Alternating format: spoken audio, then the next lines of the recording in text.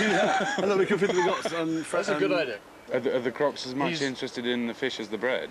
The uh, bread attracts the uh, fish, and then uh, and then the, And the, the crocs. crocs will have a crack at the fish. So, yeah, watch this. He's close Yeah. enough now. Da, da, da, da, da, There he da, da, da, da. is. Go on, son. Look at his horrid arms. Oh, he took a fish. No, did he? Yeah. I'm not Wouldn't there be some chewing motion? Go on, son.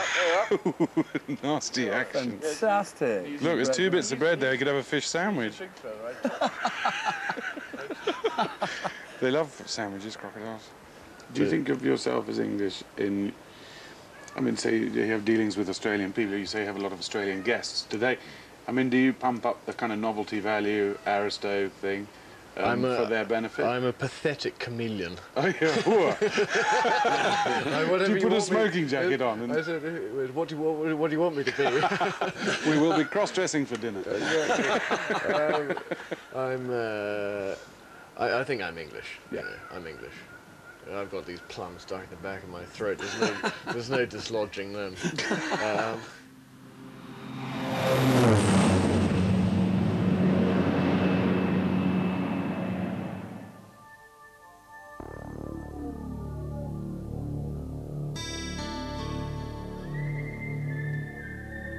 Quite by surprise, we came across this, a bushfire. No one had told us that this was the seasonal norm, yet every year, millions of acres are wiped out.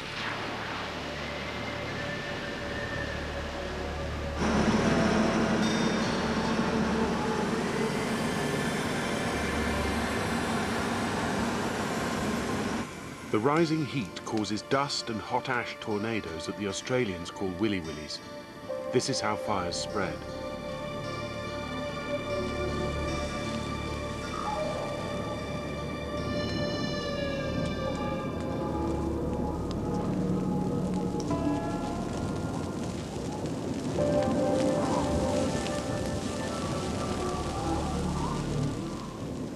How, how does how does it contain something which, is, you know, which is so massive? And there seems to be sort of relatively few people dealing with, with a fire that's raging over massive territory.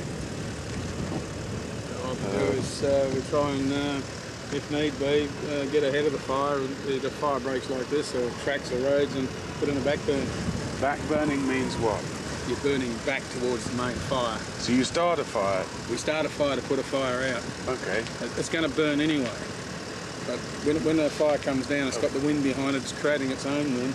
It can come through at a rate of knots and jump any roads and tracks. So what we do, we burn back against the wind towards the fire. Okay. It's You've slowly seen burn. these? Uh, So it gets here and it's got nothing to burn and it right. can't yeah. spread. Th- This here, what we're looking at now, is a back burn from this morning. oh, right. You see the kites? Yeah. Ready crusted, ready barbecued rodents. One thing I've always wanted to ask a fireman is, have you got a light? The answer to that is no.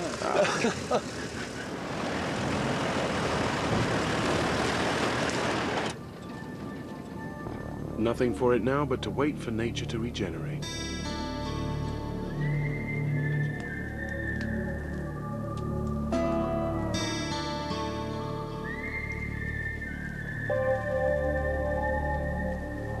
Broome is a mecca for artists of all kinds. Helen Norton, a former waitress, mechanic and animal trapper, is one of the most successful in the area.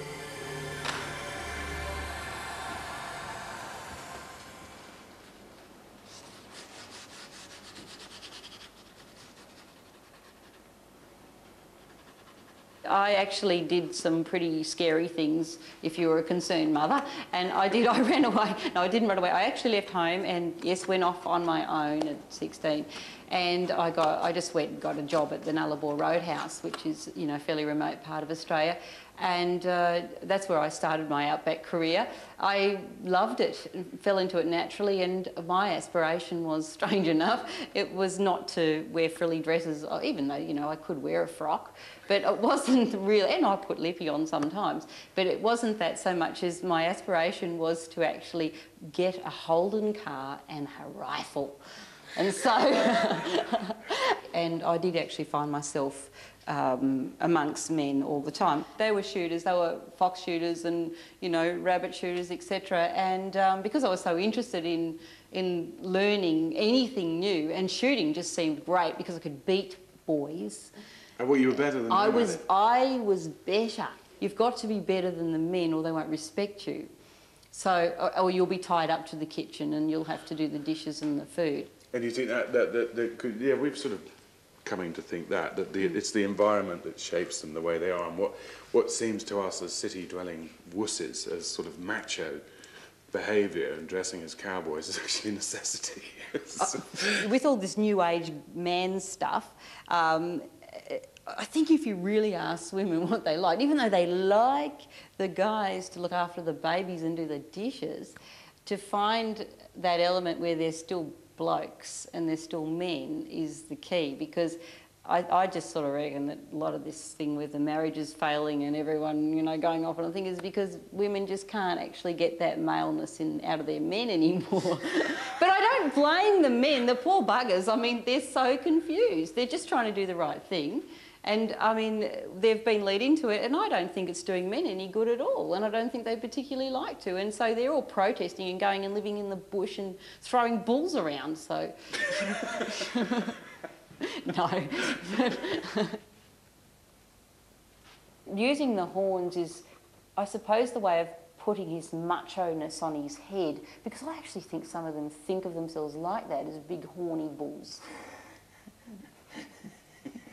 I love the determination on this. but Right, right, we're going to get this done. Let's go. Yeah, let's go. Yeah, yeah. I do find um, male company much more comfortable. I mean, I am far more at home, you know, around the corner at the mechanics, you know, sitting on a drum, drinking a beer, discussing the inner parts of D9 motors, than I am actually sitting at a, you know, a Tupperware party discussing the finer points of a lid.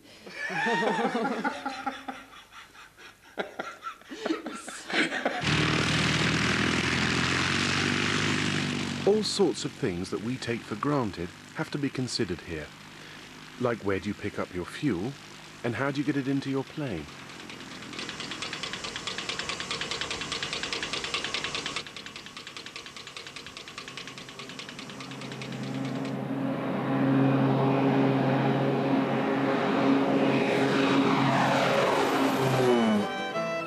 Darwin is the capital of the Northern Territory.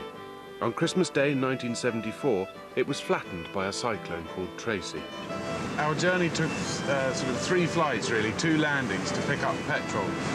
And it does make you think, and also meeting a lot of the people who do a lot of travelling, Australians who travel around Australia, as well as all the visitors, is that um, because all the distances are so huge, that the journey itself becomes an event. And it's sort of the vehicle's specially designed. There's an extra petrol tank on every uh, hire car we've had um, because they have to go so far. But also this sort of celebration of the journey, the meeting of backpackers and everything. And people would tell you how long it took them uh, to get there. Yeah, hey, good day, how you doing? 20 hours, mate. Uh, not bad. Um, whereas, you know, in- also- if we we all met in Knightsbridge or something like that, you wouldn't, you wouldn't sit around and discuss how long it took you to get there.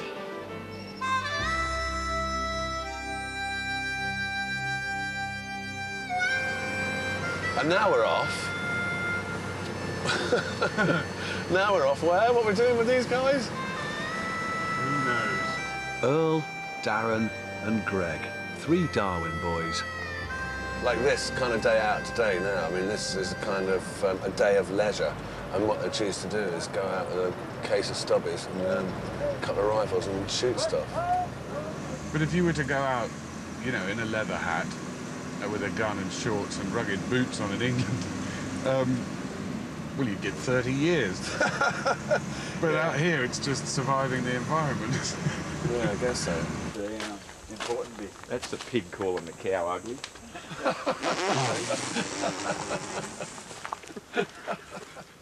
They've taken a sickie to spend the day with us.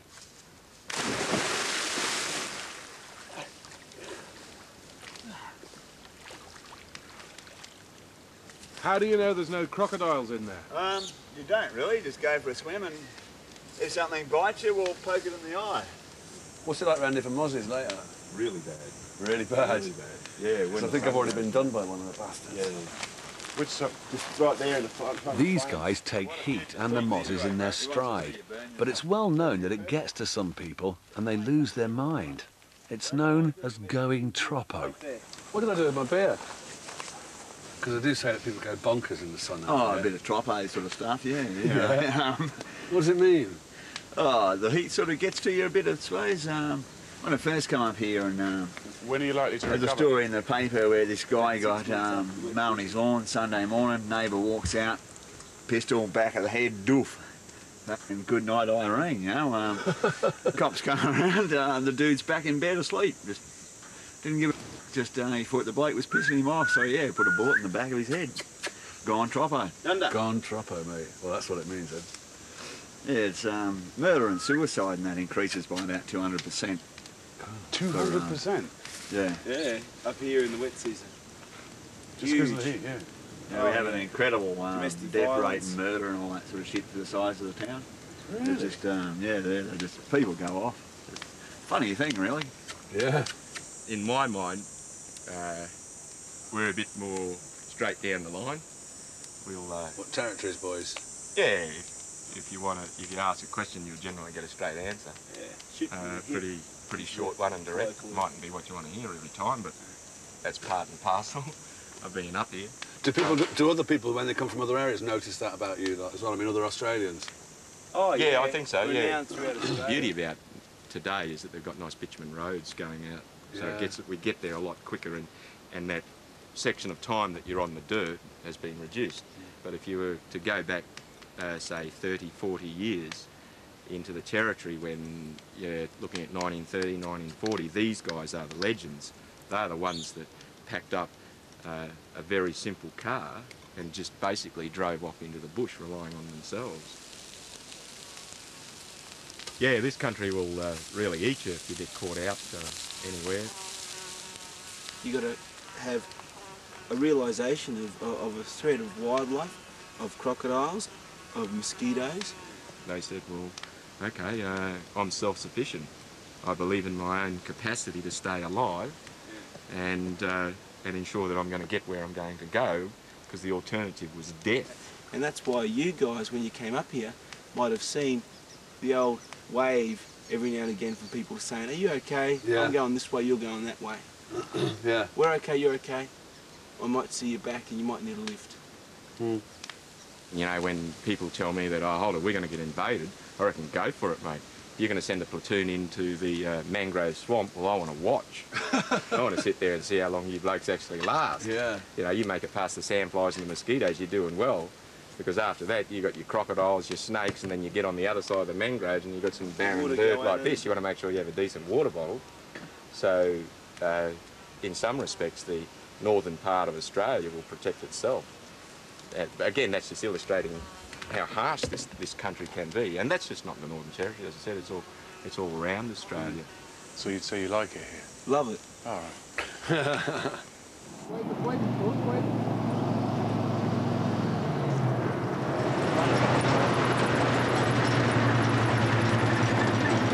They like a laugh. They do like a laugh, and they seem quite thirsty. I guess you come all this way, you're going to be thirsty, aren't you? We said goodbye and set off back to town. We thought we'd seen the last of Earl, Darren and Greg.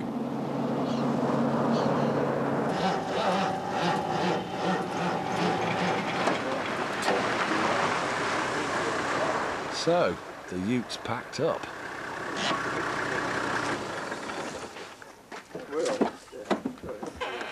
Ute, ute, mate. Hose has come off. It goes normally, but just got a bad afternoon. But Got a We salt won't, uh, stop oil uh, falling in the power. yeah, upstairs. no, that's a new modification because the Put that back on there. so the, uh, Anyway, Yeah, it is. I suppose better off in the lift, don't we? Well, the tow would be better. Okay. Whoa, whoa! Okay, go, go, go, go, go, go, go, go, go! Go, go, go! backseat drivers don't you hate 'em? Yeah, keep going, but don't use the clutch so much.